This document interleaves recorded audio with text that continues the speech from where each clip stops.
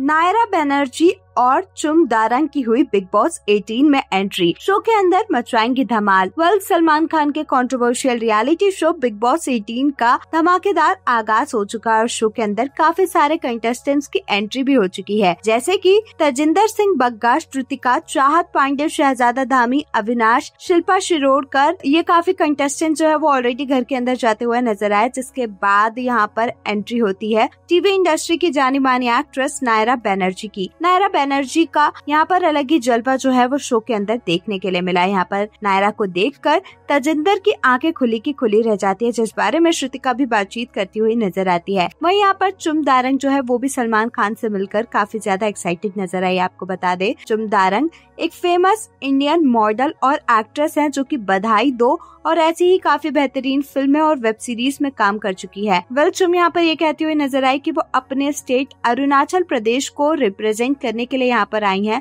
और वो इस शो की ट्रॉफी को जीतना चाहती हैं अपने स्टेट के लिए। वही नायरा भी कहती हुई नज़र आई कि वो भी इस शो में आई हैं शो की ट्रॉफी को जीतने के लिए। अब ये तो देखना काफ़ी ज़्यादा दिलचस्प होने वाला है। इन सभी सेलेब्स में से फैंस करेंगे सबसे ज़्यादा किसे प्यार और किसके गेम को करेंगे सपोर्ट वेल आपका नायरा बैनर्जी और चुम दारंग की बिग बॉस एटीन में एंट्री पर क्या कुछ है कहना, हमें कमेंट्स में ज़रूर बताएँ।